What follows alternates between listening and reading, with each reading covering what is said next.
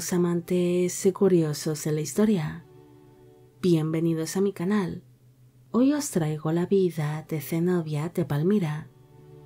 Ella fue una reina guerrera que acabaría desafiando al imperio romano, creándose un efímero imperio de un pequeño reino, y su figura está rodeada de leyendas.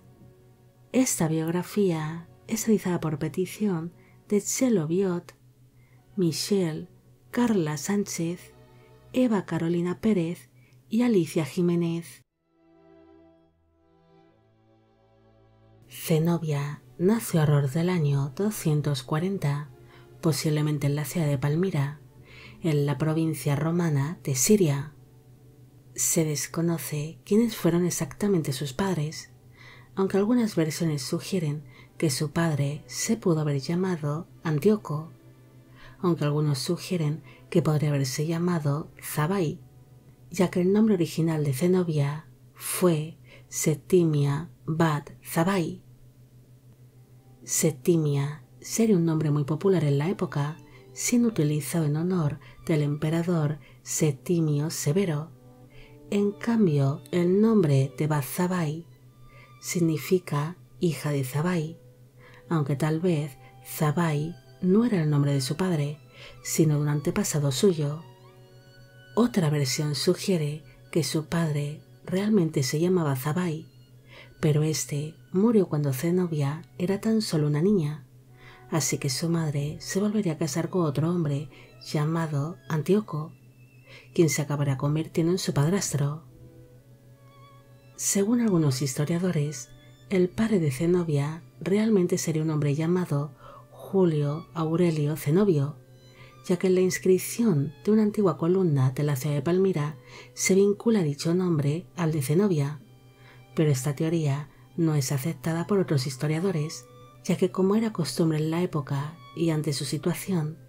ella debería haber recibido como nombre principal el de Julia Aurelia, por su supuesto origen familiar, en vez de Septimia Bad Zabai. Se desconoce también el verdadero origen de Zenobia. Para entonces, la provincia romana de Siria estaba formada por numerosas tribus que en su mayoría eran de origen árabe o arameo. Se sabe que en algún momento de su vida ella pidió a algunos eruditos que realizasen su árbol genealógico para saber quiénes eran sus antepasados, y según cuentan varias leyendas, ella podría estar vinculada con la reina de Saba, la reina Tido de Cartago o la reina Cleopatra VII, aunque esto no dejan de ser leyendas que circularon entre las tribus que existieron en Siria y alrededores. Algunos historiadores creen que tal vez ella podría descender de la dinastía Seleucida, más en concreto del rey Antíoco VII más conocido como Sidetes, y de la esposa de este, la reina Cleopatra Cea, descendiente de los faraones de Egipto de la dinastía tolemaica. Se sabe que Zenobia había nacido dentro de una familia noble y bien posicionada, porque ella tuvo acceso a la educación típica que recibían las mujeres nobles de Palmira, además de que llegaría a dominar varios idiomas como el arameo, el egipcio y el latín, aunque también destacó en su juventud por ser una gran apasionada de la equitación y de la caza, siendo toda una amazona. Gracias a la buena posición de su familia, Zenobia se convirtió en la segunda esposa del noble y político Septimio Odenato, celebrándose esta boda posiblemente en el año 255, cuando ella tenía unos 15 años de edad y él unos 35. En el año 260, su marido Septimio de Nato fue nombrado como el primer rey de Palmira por el emperador romano Galieno, debido a que por aquel entonces Palmira pertenece a la provincia romana de Siria Fenicia. El emperador romano ordenó fundar el reino de Palmira con la intención de que éste controlase ciertas regiones de la parte oriental del Imperio Romano, siendo así Palmira un reino menor que guardaría lealtad al Imperio Romano. Su marido libraría importantes batallas contra el Imperio Persa y nombró como su cogobernante a su hijo nacido de su primer matrimonio, el cual se llamaba Herodes, quien sería más conocido como Irán I. Apenas hay datos sobre cómo fue la vida de Zenobia en su etapa como reina consorte,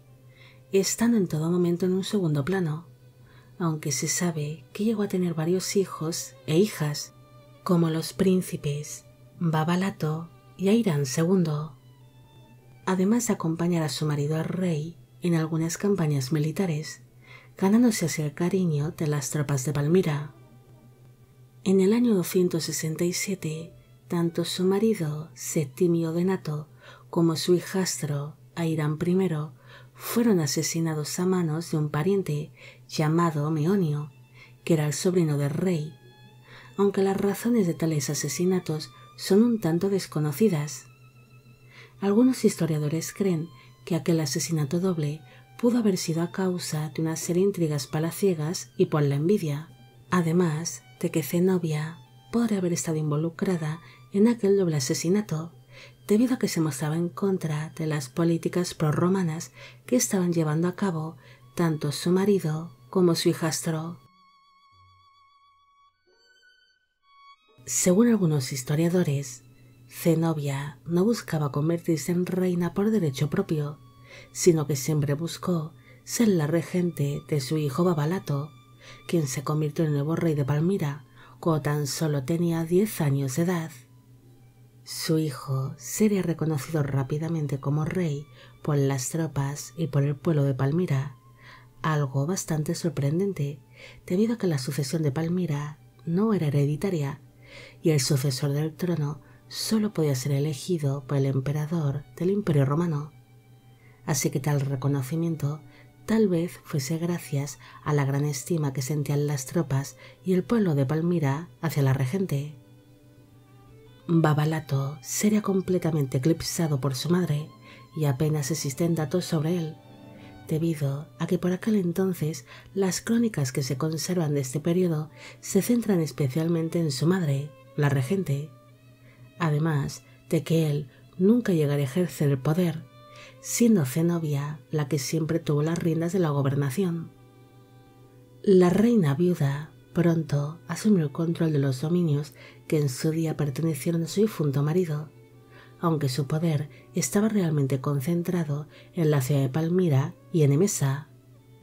Zenobia no tardaría en expandir sus dominios, algo que fue considerado extraordinario para la época, desafiando así al poderoso imperio romano.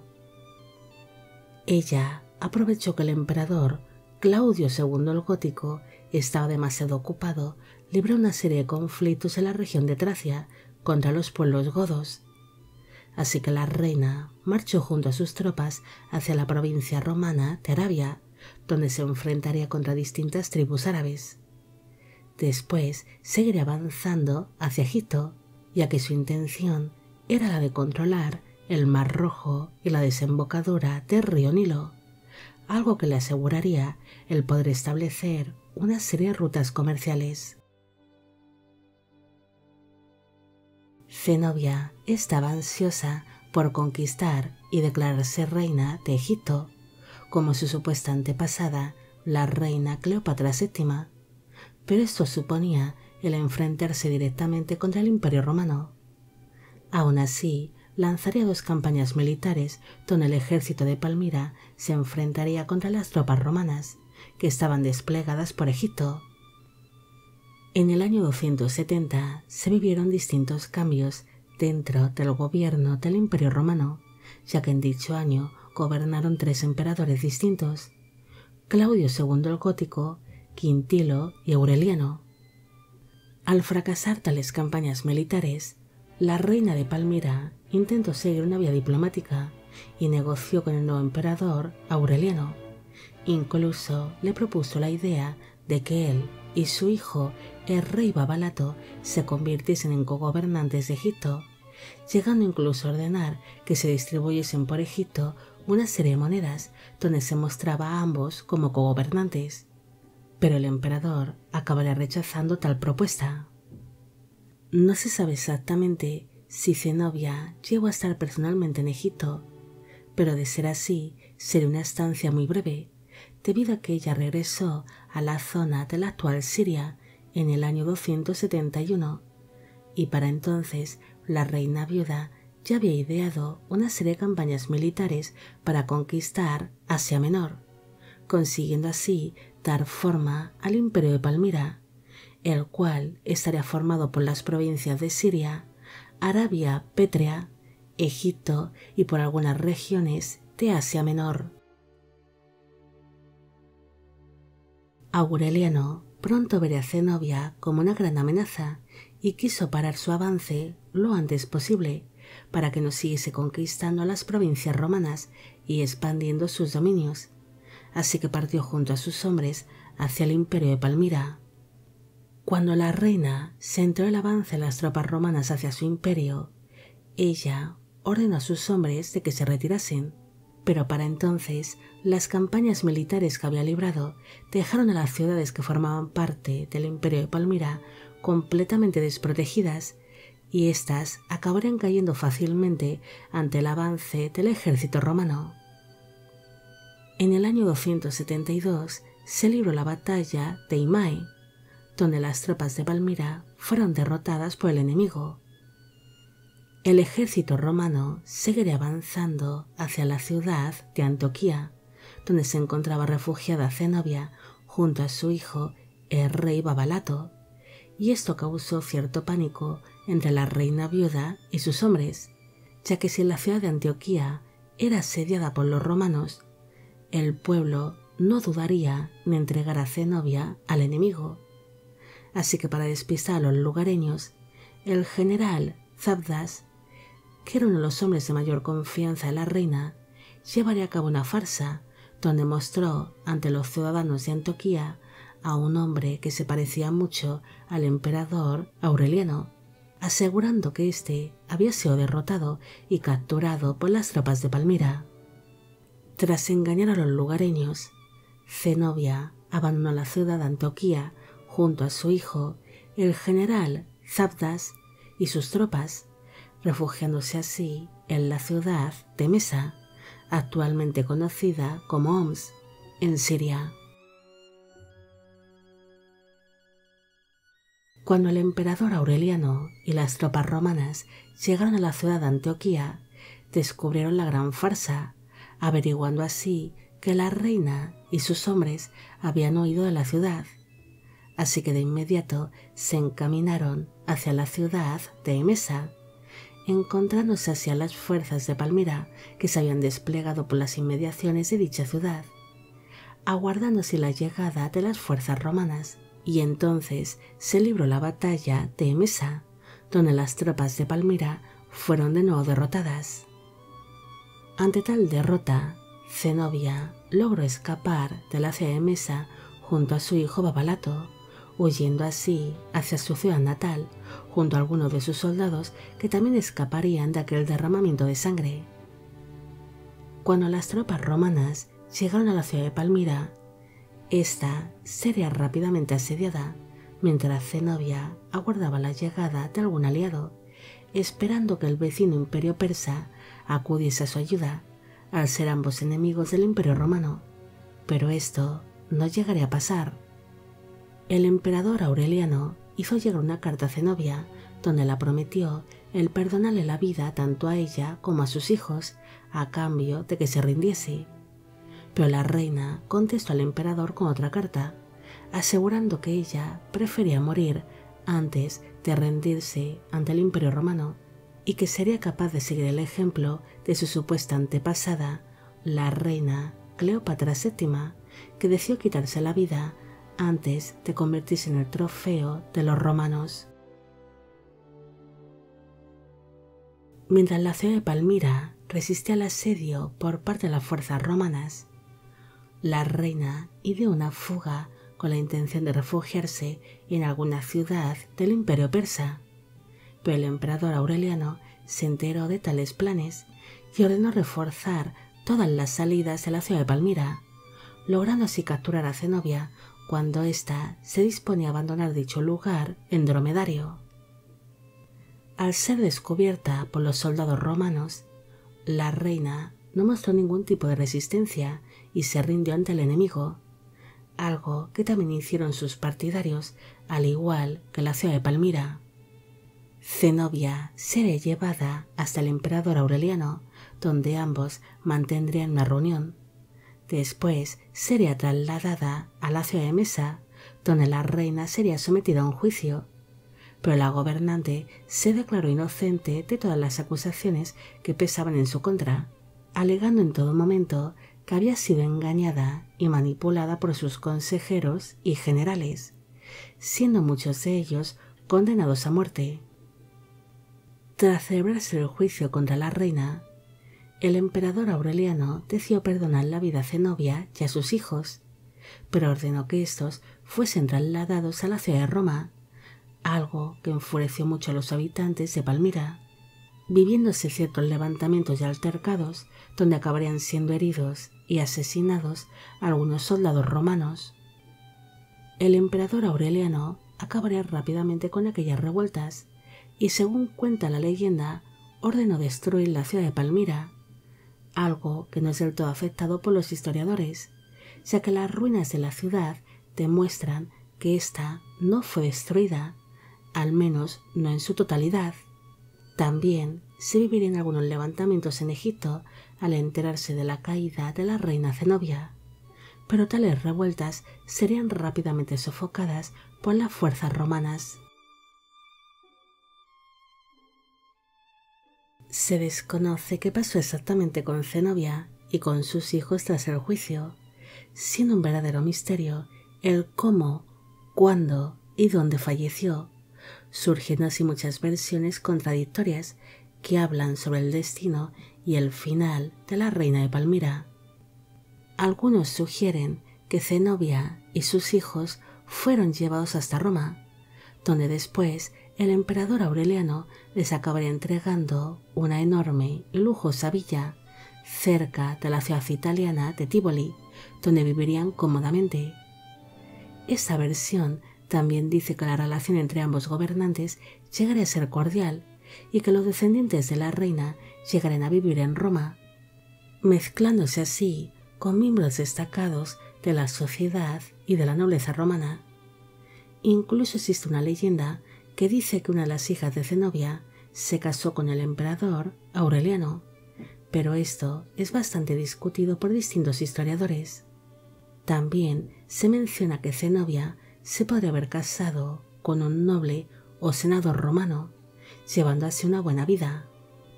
Otras versiones sugieren que Zenobia sí llegó a Roma, pero sería tratada como una prisionera,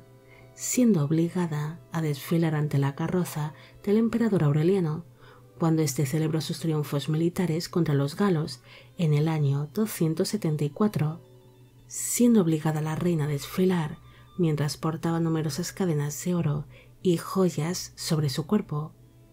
algo que le dificultaba bastante el poder caminar con normalidad y que incluso ocasionó que se cayese varias veces ante el pueblo romano, siendo así humillada públicamente. Otra versión también menciona lo de este desfile, pero asegura que tras finalizar dicha celebración, ella sería decapitada ante el pueblo romano. La gobernación de Zenobia como reina de Palmira no solo se basaría en la expansión de su imperio o en los conflictos que libró contra el imperio romano. Se sabe que en el imperio de Palmira existieron distintos pueblos y tribus que tenían sus propias costumbres, cultos y lenguas. Pero Zenobia siempre aceptó y respetó toda esta diversidad multicultural dentro de su imperio la reina era una mujer bastante culta que siempre tuvo una gran sed de conocimiento. Es por ello que se rodeó de intelectuales y de filósofos en su corte. Incluso algunas versiones sugieren que algunos de sus tutores o los intelectuales que la rodearon desde su etapa como reina consorte la motivaron para que se rebelase contra el imperio romano. Zenobia también sería una reina tolerante y respetuosa contra las creencias religiosas que existían dentro de su imperio. Incluso aceptó la presencia de católicos y de judíos, atrayendo así a todos aquellos pueblos que eran perseguidos o marginados por el imperio romano. Pero se sabe que ella sigue la antigua religión semítica, que era común en ciertas partes de África y de Oriente Próximo. Aunque años después de su muerte, algunos aseguraron que la reina mostró cierto interés por el judaísmo, aunque esto no es del todo aceptado por los historiadores, que consideran que Zenobia no tuvo lazos directos con tal creencia religiosa, simplemente los toleraba y apoyó al pueblo judío con la intención de que formasen parte de su imperio. Zenobia es recordada por ser una reina guerrera que desafió a todo un imperio para fundar el suyo propio, creándose así el efímero imperio de Palmira. Esta reina no quería ser sometida por el imperio romano, queriendo un reino independiente para su hijo Babalato, ya que se sabe que en un principio ella no quería ser reina titular, pero tal vez le cogió cierto gusto a eso de gobernar y llegó a fantasear con la idea de ser reina de Egipto, como en su día fue su supuesta antepasada, la reina Cleopatra. Zenobia llegó a destacar en su época no solo por desafiar al imperio romano, sino porque llegó a ser una mujer culta y ambiciosa que llegó a crear un imperio de un pequeño reino convirtiéndose en un verdadero quebradero de cabeza para el emperador Aureliano. Son muchas las leyendas que circulan sobre esta reina, siendo muchas de ellas creadas y extendidas por los pueblos árabes que en su día llegan a formar parte de Palmira, donde se asegura que Zenobia era descendiente de destacables mujeres del pasado, como la reina de Saba, Cleopatra o la reina Dido siendo esto bastante discutido por distintos historiadores, que solo creen que son leyendas inventadas para dar más prestigio a la reina, aunque sin duda Zenobia está a la altura de tales reinas sin tener que descender especialmente de ellas. Bueno amigos, llegamos al final de la vida de la reina Zenobia de Palmira. Espero que os haya gustado esta historia y espero que todos los que me pedisteis que hiciese un vídeo sobre ella también. Al inicio solamente he mencionado a las cinco primeras personas que hicieron esta petición, para no hacer una introducción demasiado larga y aburrida. Los demás seréis mencionados ahora. Esta biografía es realizada por petición Guadalupe Hernández, Mr. Mann, J. Jaufred,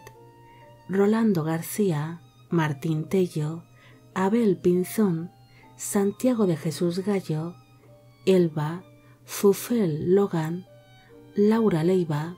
Sergio Bárcena, Agnaun Person, José Duma, Jair Saur, Ute SD y Jesús Ignacio Sánchez. Y con esto me despido. Hasta la próxima.